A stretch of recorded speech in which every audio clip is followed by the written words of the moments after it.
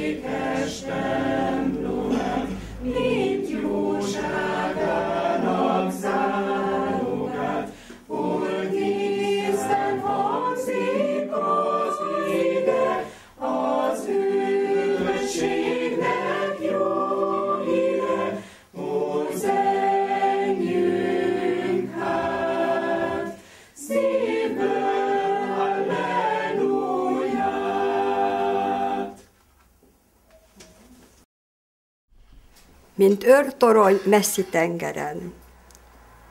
Nagy Isten, ki megalkottad ezt a nagy világot, s templomod a természet maga, mit adhat néked a gyarló ember? Mit mondhat a száj elcsukló szava? Hadd legyen ez a ház az imádság háza, s aki itt a szívét te elét kitárja, küldj választ néki égi üzenettel, maradj közöttünk szerető lelkeddel. A kérubok szárnya lebegjen itt, őrizzék híven szent törvényeid, s ha vihardulna kinn a tengeren, e ház mindig menedék legyen. A göröngyös út mindig ide fusson, és ezen az úton mindenki átjusson hozzád, te hatalmas, te szent, s lelkünk forró imádsága, ha bent hangok nélkül suhan az ég felé, angyalok vigyék trónusod elé. És te meghallgatva kegyelmesen minket, bocsáss meg, fiadér, minden védkeinket. Ha Jákob éjszakáját vívja itt a lélek, s fáradtan küzdeni, már-már alig képes. Élő, örök Isten, Jákobnak Istene, a küzdőnek mindig győző legyen neve. Vigyázz-e házra szüntelenül, s ha fáradt szívek imája csendül, áldásot küld e népre itt, karolt fel a leggyengébbet is.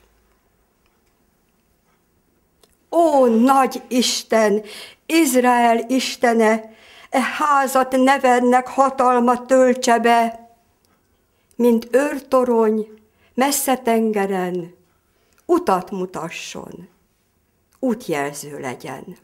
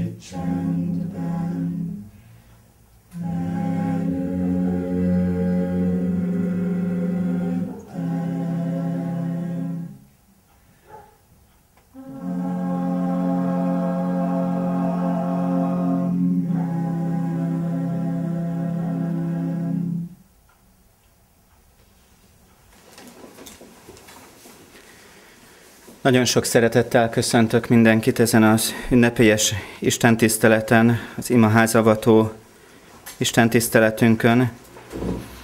Én két bibliaverset szeretnék alapigeként felolvasni. Ézsaiás próféta könyve 56. fejezetéből a verset hallottuk is az elhangzott versben. Ézsaiás könyve 56. fejezetében a hetedik versnek a második felét szeretném felidézni, de hozzáolvasnám a hatodik, hetedik verset.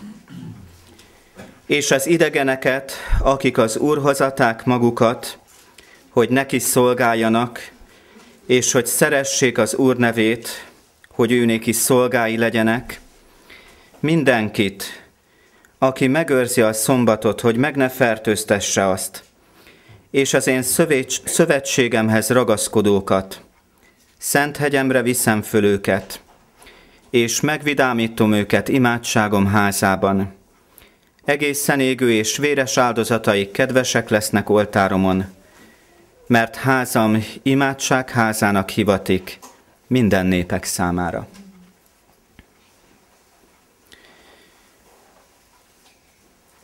Szükségszerű, hogy legyenek helyek, ahol összegyűlünk az Isten tiszteletére. Szükségszerű, hogy legyenek alkalmaink, amikor az Istent tiszteljük. És ezek a helyek, ezek attól szentek, ahogyan összegyűlünk benne, és ahogyan az Istent keressük. Attól szentek ezek az alkalmak. A bizonyság tételekben azt olvassuk, hogy a gyülekezeti házak az Úr tiszteletének az emlék helyei, mint egy emlék oszlopai, annak a jelei, hogy van a Teremtő Istennek tisztelete a mi földünkön, hogy vannak, akik a szombat ünneplésükkel kifejezik azt a meggyőződésüket, hogy méltó a Teremtő Isten. Méltó az alkotó arra, hogy őt tiszteljük, hogy őt dicsérjük. Méltó arra, hogy Istenként elfogadjuk a mi életünk fölött. Minden egyes gyülekezet ennek az emlékeztetője az országban. Van egy teremtőnk, van egy alkotónk, akihez tartozunk, és akinek köszönhetjük az életünket, és akinek köszönhetjük a megváltást is. Az Isten egy csodálatos ígéretet ad mindazoknak, akik a Teremtőt készek elfogadni, készek az életüket alárendelni, uralkodóként elfogadni őt. Azt mondja, megvidámítom őket imádságom házában. Elfogadom az ő áldozatukat. Az Ószövetségben az áldozat két dolgot fejezett ki, az Isten emberért hozott áldozatát, és az embernek az Isten áldozatára adott válaszát.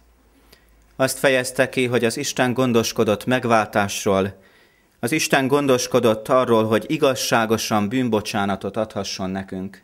Őhoz áldozatot értünk.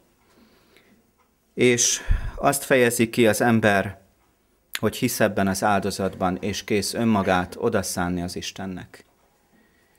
Azt mondja az Isten igéje, megvidámítom őket az imádságom házában, és kedves lesz az ő áldozatuk én előttem. Mert a házam imádság házának hivatik minden nép számára. Elgondolkoztam azon, hogy miért pont imádság házának hívja az ő házát. Miért ezt emeli ki, hogy imádság házának hivatik minden nép számára? Gondolkoztam azon, hogy lehetne az ige hirdetés házának is nevezni. Hiszen azért jövünk össze, és központi helye van az Isten tiszteletünkön, az Isten igéjének, az Isten beszédének. Lehetne Isten tisztelet házának is nevezni hiszen azért jövünk össze, hogy dicsérjük az Istent, hogy tiszteljük, hogy kifejezzük a hozzávaló ragaszkodásunkat. Az ige mégsem így fogalmaz. Az Isten mégsem azt mondja, hogy az én házam Isten tisztelet házának nevez, neveztetik minden nép számára. Ez is igazság lenne. Gondolkozzunk el azon, hogy vajon mi lehet az oka annak, hogy az Isten igéje az imádság házát húzza alá azt mondja, hogy megvidámítom az imádságom házában. Megvigasztalom őket, és megelégítem őket. Az Isten tisztelet csak akkor lehet hiteles, hogyha valóban megbékélt egy ember az Istennel. A formai Isten tiszteletet nem igényli az Isten az embertől. Ő a szívet keresi, és nem a külső formát. Ő a szívnek a legmélyében rejtőző indítékokat, indulatokat, vágyakat nézi, és nem a forma az, ami ő előtte kedves.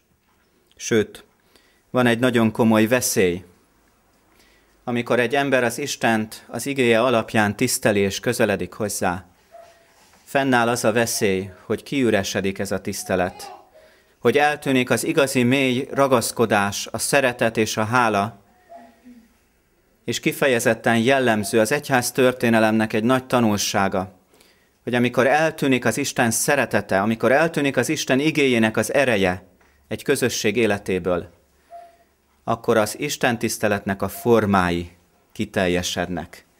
Akkor egyre inkább külsőségekben nyilatkozik meg az Isten tisztelete, mert hiányzik a belső tartás. Legyen az Isten tisztelet háza ez a ház, de egy olyan Isten tiszteletnek a háza legyen, ahol az Isten iránti szeretet indítja az Isten tiszteletet. Ahol az Isten irántunk való szeretetére adott hála indítja fel a dicséretet. Volt olyankor Izrael életében, amikor az Isten külön kihangsúlyozta számukra, ne bízzatok a templomban. Ne mondogassátok azt, hogy az Úr temploma, az Úr temploma, az Úr temploma ez. Ne építsétek a reménységeteket, a bizalmatokat hamis alapra. Egy egyházhoz tartozás, egy formai istentisztelet, valódi megtérés, valódi ragaszkodás, valódi szeretet nélkül értéktelen. Sőt, egyenesen ugyanebben a könyvben, ahonnan idéztük az igét, Ézsaiás próféta könyve első fejezetében azt olvassuk Ézsaiás könyve első fejezet 15. versében, hogy az Isten így szólal meg, hogyha kiterjesztitek kezeiteket, elrejtem szemeimet előletek. Sőt, ha megsokasítjátok is az imádságot, én meg nem hallgatom, vérrel rakva kezeitek. Mosódjatok, tisztuljatok meg, távoztassátok el szemeim elől cselekedeteitek gonoszságát, szűnjetek meg gonosz cselekedni. Tanuljatok jót tenni, törekedjetek igazságra, vezessétek jóra az erőszakoskodót, pártoljátok az árvát és az özvegyek ügyét. Ugyanebben a fejezetben olvassuk azt, hogy amikor ez hiányzik, amikor egy ember megsokasítja az imádságot, egy gyülekezet megsokasítja az imádságot, de hiányzik az önvizsgálat, a bűnbánat, a bűnrendezés, a megtérés, akkor az Isten azt mondja, bár csak becsukná valaki ezt a házat. Bár csak ne tüzelnétek az én oltáromon. Létezik olyan Isten tisztelet, amely elfogadhatatlan az Isten előtt. Az indítéknek a helytelen volt miatt, a külső formaság miatt, a bűnnel való kompromisszumkötés miatt. Lehetne azt mondani, hogy az Isten háza az az ige hirdetés háza. És nagyon fontos, hogy az ige hirdetés valóban az Isten igéjének a tiszta megszólaltatása, az Isten üzenetének a hűséges megszólaltatása legyen. De tegyük fel a kérdést, mikor válik hasznunkra egy ige hirdetés? Kinek válik javára az, hogyha hallgatja az Isten szavát? Elegendő-e az igehirdetés háza az ember számára? Elegendő-e meghallgatni az Isten igéjét? Jelen lenni és hallgatni az Isten igéjét? Az Isten beszédének két döntő feladata van az életünkben. Az egyik az, hogy magasra emelje előttünk az Isten mércéjét, és mi megláthassuk, mint egy tükörben önmagunkat. Az Isten igének az a feladata, hogy szembesítsen önmagunkkal bennünket, és elvezessen Krisztushoz, a megváltónkhoz. A másik nagyon fontos feladata, hogy meghalljuk a szembesülés közben, meghalljuk az Isten szeretetteljes hívását. Mert az Isten nem agyonver az ő igéjével, hanem azért tör össze, hogy újjáépíthessen bennünket Krisztuson. Arra van szükségünk, hogy meghalljuk az Isten szeretetének az üzenetét, felfogjuk és megértsük az Isten vége, végére mehetetlen szeretetét, azt az örökkévaló szeretetet, amely az Istent arra indította, hogy eljöjjön a földre, hogy átvegye a mi bűneinknek a büntetését, a terhét, hogy helyettünk halljon meg a kereszten. Kell, hogy halljuk, és kell, hogy a szívünket átjárja az Isten szerető hívása, amelyel magához hív bennünket, amelyel arra kérlel, hogy mi hozzá térjünk meg, és hozzá forduljunk. De kedves gyülekezet, kevés. Kevés az, hogyha hallgatjuk. Szintén Ézsaiás próféta könyvében olvasunk egy kifejezést, szerelmeskedő énekként hallgatják szerelmeskedő énekként, szépen szóló hegedűként hallgatják, és ezek igazságok lehetnek. És valóban vonzó lehet, és szép lehet. De van egy dologra szükség. Arra, hogy az ember válaszoljon. És én arra jutottam, hogy talán ez az oka annak, hogy az Isten tisztelet helyéül szánt helyet nem ige hirdetés házának, nem Isten tisztelet házának, hanem az imádság házának nevezi az ige. Az Isten tisztelet a szív odaszánása nélkül üres formaság. Szolgai járom. Az ige hirdetés hallgatása az Istennek való válaszadás nélkül megkeményíti a szívet, és eltávolít az Istentől. Az Istenhez fordulás imádságban viszont felemel és közelemel az Istenhez. Úgy gondolom, hogy ezért nagyon fontos ez a gondolat, hogy az Isten háza, az az imádság háza minden nép számára. Hadd emeljek ki egy gondolatot Joel próféta könyvéből, amely azt mondja, hogy akkor, amikor eljön az Úrnak nagy és félelmetes napja, amikor eljön az Isteni ítéletének az ideje a történelemben. Van egy ígéret Joel próféta könyve második fejezetében. Mindenki, aki segítségül hívja az Úr nevét, az megtartatik.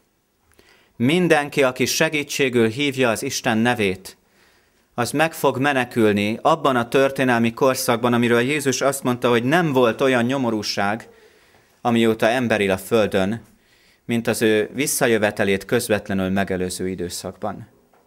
És erre a korra, és mondjuk ki a mikorunkra, mert ebben a korban élünk. A mikorunkra nézve így hangzik az Isten üzenete, mindaz, aki segítségül hívja az Úr nevét, megtartatik. Mi is akkor az imádság? Milyen az az imádság, amely, amelynek a háza ez a ház, amelyre szükségünk van? Hogyha nagyon egyszerűen szeretnénk megfogalmazni, hogy mi az imádság lényege, akkor azt mondhatjuk, az imádság nem más, mint az ember válasza az Isten hívására. Az imádság nem más, mint amikor az ember komolyan veszi azt, hogy az Isten élő Isten, és hozzá úgy fordulhatok, mint az én szerető édesapámhoz, vagy mint az én legkedvesebb barátomhoz. A Krisztushoz vezető lépések című könyvben van ez a kép, és ezt szeretném ide idézni. Az imádság nem más, mint szívünket feltárni Istennek, mint barátunknak. Istenhez fordulni, mint barátunkhoz, és teljesen megnyitni önmagunkat az Isten előtt. Egész lényünkkel odafordulni az Istenhez segítségért. Ez a magatartás, ez a hozzáállás kizárja, kizárja azt, hogy közben távol maradjunk az Istentől. Természetesen létezik formai imádság. Létezik olyan imádság, amely megszokott, amely monoton, de ez nem az, amiről az ige beszél. A Biblia szerinti imádság aktuális válaszadás, közvetlen, élő odafordulás az élő Istenhez. Olyan imádságra van szükség, amely nem az ember elméjéből születik meg pusztán, amely nem az emberi gondolatokat fogalmazza meg, és nem is csupán az emberileg meglátott szükségleteket fogalmazza meg. Az új szövetségben többször találkozunk azzal a kifejezéssel, hogy imádkozva a lélek által. Az imádságnak a legmélyebb megnyilatkozása, amikor Isten lelke, a Szentlélek tud késztetni kérésekre, amikor megértjük úgy a szükségleteinket, ahogyan az Isten lát bennünket, és amire az Isten látásmódja szerint szükségünk van. Amikor maga az Isten lelke imádkozhat a mi szavaink által. Mert az Isten lelke fogalmazhat meg fogalmazhatja meg az imádságot általunk. Ez a fajta imádság garantálja a változást és a megújulást a mi életünkben. Amikor a mi imádságunk Szentlélektől ihletett odafordulás az Istenhez, az kizárja a formai Isten tiszteletet, kizárja a képmutatást, kizárja azt, hogy távol maradjunk az Istentől, és csak szavaink szintjén tiszteljük őt. Amikor a lélek indít, akkor kimunkálja bennünk az átadást, az odaszánást. Akkor kimunkálja bennünk, hogy mi teljes szívből keressük az Istent, és egyúttal meg is ajándékoz azzal, hogy megtalálhassuk őt. Kedves gyülekezet, kedves testvéreim, legyen ez a háza ilyen imádságnak a háza. Legyen ez a háza olyan Isten keresésnek az a, a háza, a helyszíne, amikor nem elégszünk meg kevesebbel annál, mint hogy őt magát megtaláljuk, mint hogy az ő jelenlétét elnyerjük, és mint hogy valóban átadjuk neki a mi egész életünket. Azt olvassuk az igében, hogy az én házam imádság háza, imádság házának neveztetik minden nép számára.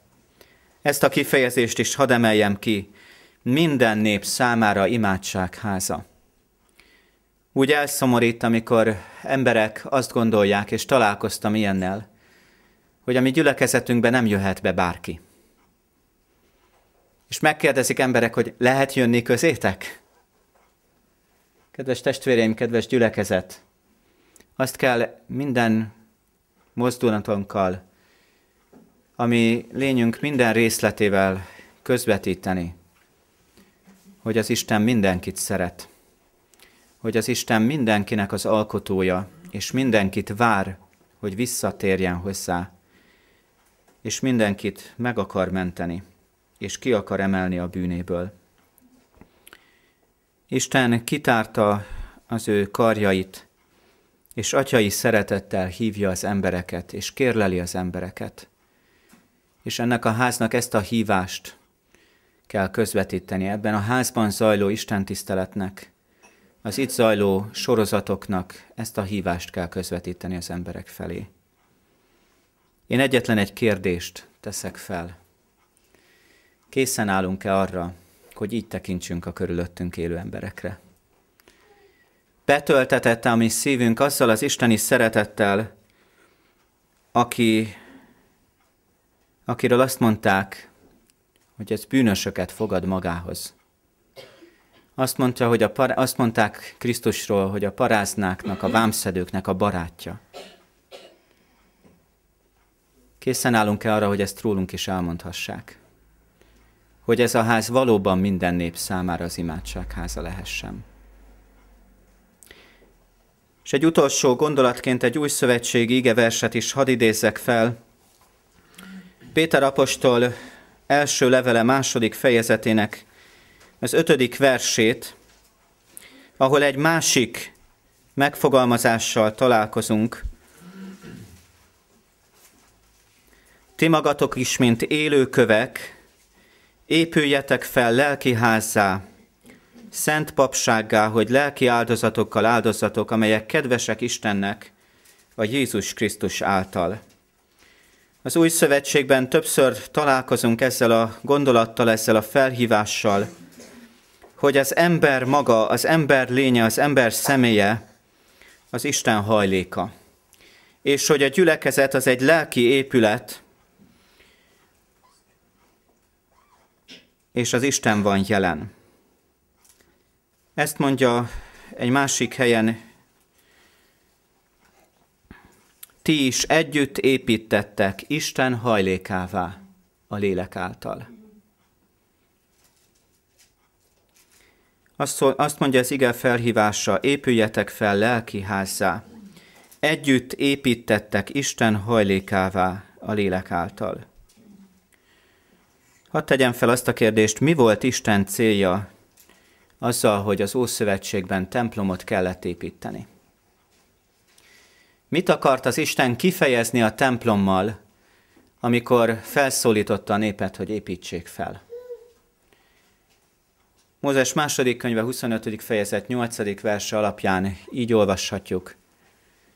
Azért, hogy közöttük lakozzam. Hogy közöttük lakozzam. Építsenek szent hajlékot, hogy ő közöttük lakozzam. Ugyanezt a kifejezést, ugyanezt a gondolatot találjuk meg az új szövetségben. Épüljetek fel lelki házzá, hogy Krisztus lakozzon itt közöttünk. Egyénileg is és közösségileg is. A legmagasabb rendű küldetése a közösségnek, a gyülekezeti közösségnek, hogy az Isten jelenlétében részesüljünk, az Istennel való közösséget elnyerjük. Azt mondja az ige, hogy az Isten azért váltott meg bennünket, hogy kiábrázolódjon bennünk a Jézus Krisztus.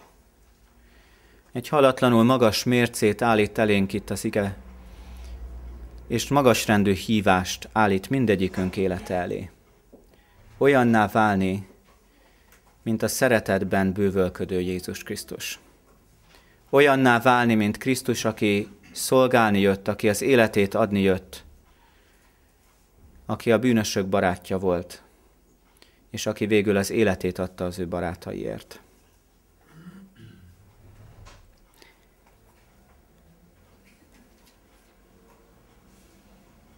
És itt összekapcsolódik a két gondolat.